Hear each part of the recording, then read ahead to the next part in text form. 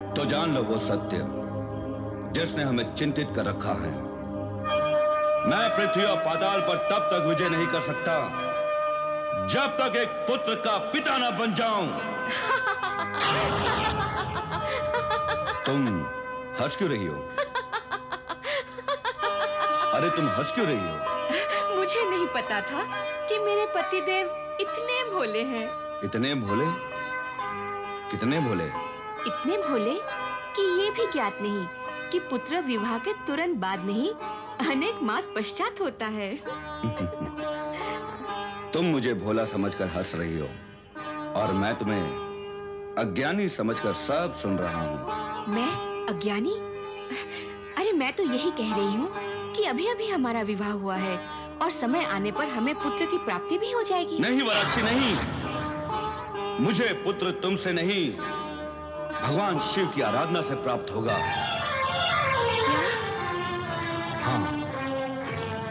हमारे पिता प्रजापति कश्यप और देवर्षि नारद दोनों ने यही कहा है कि पुत्र प्राप्ति के लिए मुझे शिव आराधना करनी ही होगी।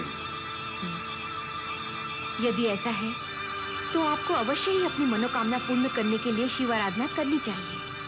पिताश्री और देवर्षि नारद के वचन असत्य तो नहीं हो सकते? किंतु वराक्षी एक चिंता प्रश्न चिन्ह बनकर मेरे सामने है। तुम्हें छोड़कर शिव आराधना के लिए जाऊँ तो तुम्हें कैसा लगेगा? वैसा ही लगेगा जैसा उस पत्नी को लगता है जो अपने पति के मंगल कार्य में बाधक नहीं बनती। और मैं भी आपको रोककर आपकी शिवराधना में बाधक नहीं बनूँगी। मैं यही सोचकर चिंतित था कि विवाह के तुरंत बाद तुम्हें इस प्रकार छोड़कर आराधना के लिए जाना क्या उचित होगा? समीप जाने में अनुचित क्या। वो तो सर्वोपरि हैं। उनके आगे मैं और अन्य नाते सब छोटे हैं। आप सहर्ष जाएँ स्वामी। इतना बड़ा निर्णय लेने से पूर्व मुझे माता पिता से परामर्श करना ही होगा। मेरा विचार है वे भी आपके हित में ही परामर्श देंगे। कारण आप प्रभु भक्ति और आशीर्वाद हेतु उनकी शरण में जा रहे हैं। नहीं मुझे स्वीकार नहीं। माता! पिता श्री की भविष्यवाणी के अनुसार पुत्र प्राप्ति के बिना मेरा विजय अभियान सफल नहीं हो सकता और पुत्र प्राप्ति बिना तपस्या के नहीं हो सकती। इसलिए मुझे तपस्या के लिए जाने की अनुमति दे माता। मैं देख रही ऋषिवर। मेरे प्रतापी पुत्रों को भ्रमित कर अब आप मौन साधे खड़े हैं। नहीं माता नहीं। पिताश्री को दोष क्यों दे रही हो? ऐसी भविष्यवाणी तो देवर्षि ने भी की थी।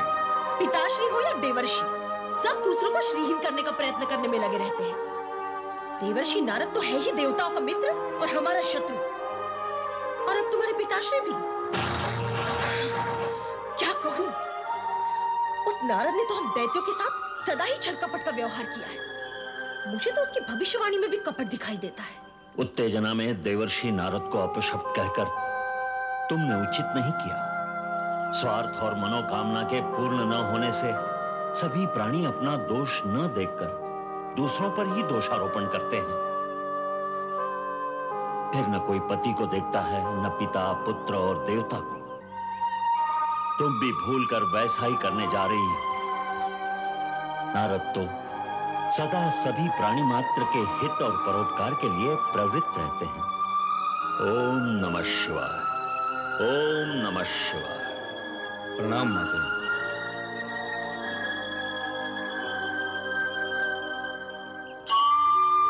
देवी पार्वती इस तरह हमारी ओर एकटक क्या देख रही हो? देवाधिदेव आप तो आशुतोष महेश्वर के रूप में प्रसिद्ध हैं। सभी की मनोकामना भी पूर्ण करते हैं। मेरी भी एक इच्छा पूर्ण करें भगवान। जब ये मानती हो कि हम सभी की इच्छा पूर्ण करते हैं तो फिर क्या कारण है कि हम अपनी अर्धांगिनी की इच्छा पूर्ण नहीं करेंगे? अपनी इच्छा कहो देवी। आज मेरी इच्छा गगन विहार करते हुए आनंद कानंद काशी जाने की हो रही है। कैलाश के समान काशी भी तो आपकी प्रिय और निवास नगरी है। वहाँ असंख्य शिव भक्त आपके प्रत्यक्ष दर्शन के लिए लालायित रहते हैं। आपको उनकी भक्ति और कामना का भी समुचित प्रतिफल देना चाहिए। अवश्य। चलो देवी। हम तुम्हारी इच्छा पूर्ण करने के लिए तत्पर हैं। किंतु स्वामी नंदी और शिवगण को हमारे विहार की सूचना भी तो देनी होगी। इसकी आवश्यकता नहीं है।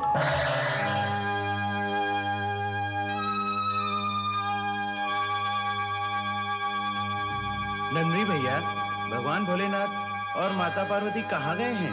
क्या बताऊँ? और कैसे बताऊँ कि वे कहाँ गए हैं? इस विषय में जितना तुम्हें ज्ञान है उतना ही मुझे है। लगता है भोलेनाथ किसी भक्त की पुकार सुनकर उसकी सहायता के लिए गए हैं। और माता पार्वती वे भी साथ ही गई होंगी। हमें तो लगता है हम सबको चकित करने के लिए वे अदृश्य हो गए। अब क्या होगा नंदी भैया? क्या होगा भैया? जब तक वो प्रकट नहीं होंगे प्रतीक्षा तो करनी ही होगी।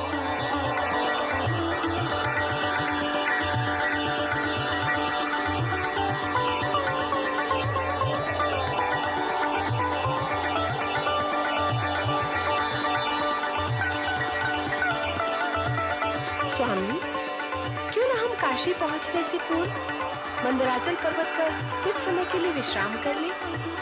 अवश्य। हमने निश्चय कर लिया है कि तुम्हारी हर इच्छा का सम्मान करेंगे।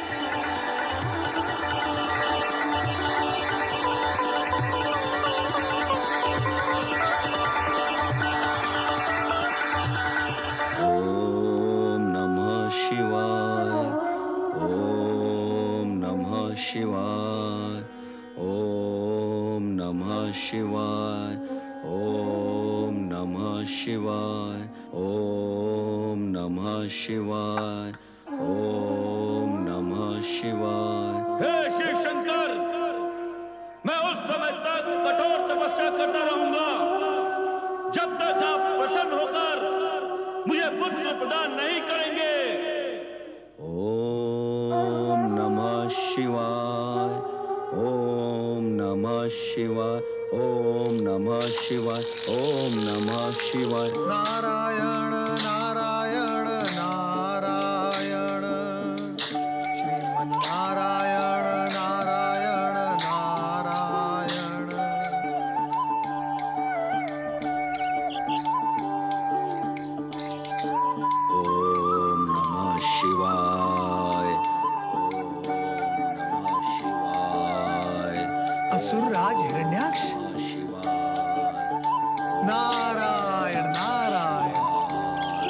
हे भोलेनाथ।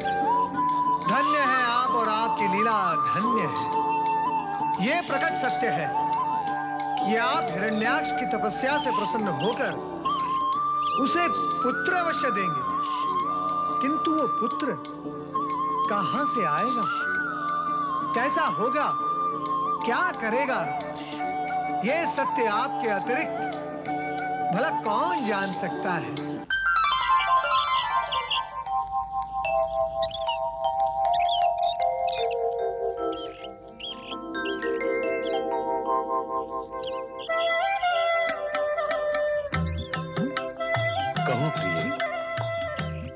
हिमालय मनभावन है अथवा मंदराचल हिमालय। इसलिए कि हिमालय तुम्हारे पिता का घर है। इसलिए कि वहाँ पर मेरे पति का तप स्थान है घर है और पति का घर अपना घर होता है। प्रिय सौंदर्य तुम्हारे मुखमंडल पर ठहर कर। इतना अधिक सौंदर्यमय हो गया है कि अब वहाँ से दृष्टि हटाने को मन ही नहीं करता।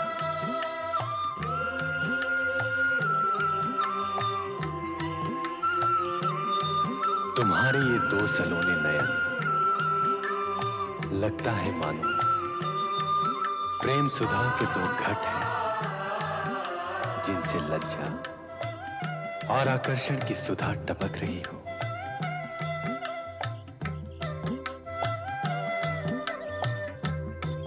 तुम्हारे ये रसीले अधर, मानो फूल की दो पंखुड़ियाँ हो। जब बोलती हो तो लगता है मानो पुष्प झड़ रहे हैं। तुम्हारा ये रूप लावण्य आकर्षण और मनोहारी सौंदर्य देखकर इच्छा होती है कि युगों युगों तक तुम्हारे सुंदर मुखमंडल से आँखें ना हटाऊं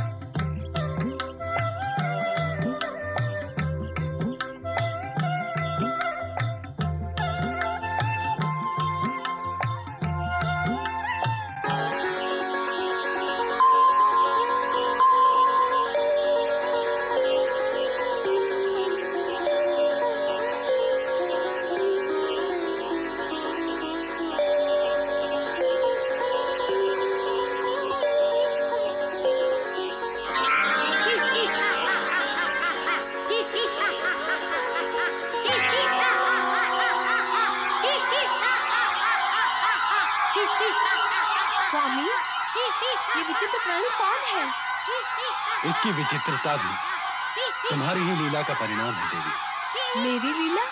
मेरी कैसी लीला? तुमने हमारी आँखें बंद कर ली। तब यह प्रकट हुआ। इसलिए अंधा तो इसे होना ही था। अब चूँकि इसका निवास राक्षसों के साथ होना है इसलिए यह राक्षसी रूप के साथ प्रकट हुआ है।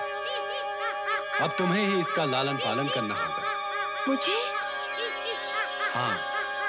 जब तक ये अपने निर्धारित स्थान पर नहीं पहुँच जाता तब तक तुम ही इसे पालोगी। पर इसका निर्धारित स्थान है कहाँ? कुछ समय पश्चात तुम्हें सब कुछ ज्ञात हो जाएगा।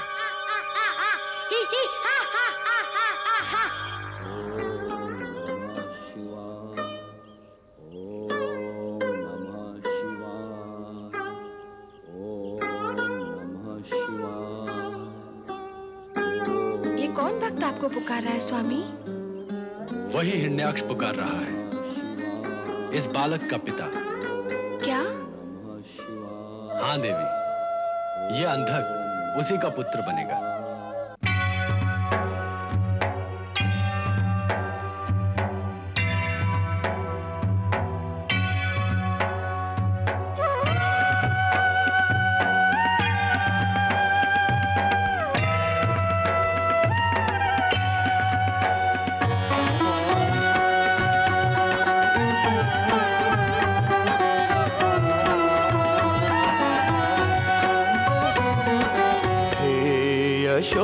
यशोधन पुष्पलोचन, हे जटिल करुणाकरन हे यशोधन, पुष्पलोचन, हे जटिल करुणाकरन नमन करके आपको पल, नमन करके आपको पल पल पुकारे।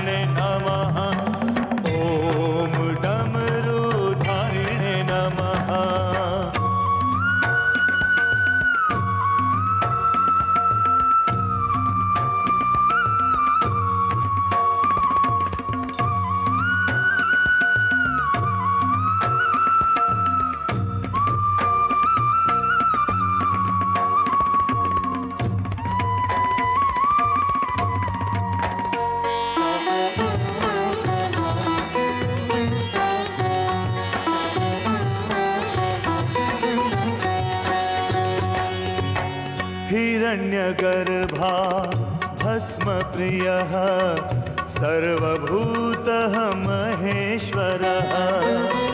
पुत्र धन की भिक्षा मांगो आपसे हे धनेश्वर।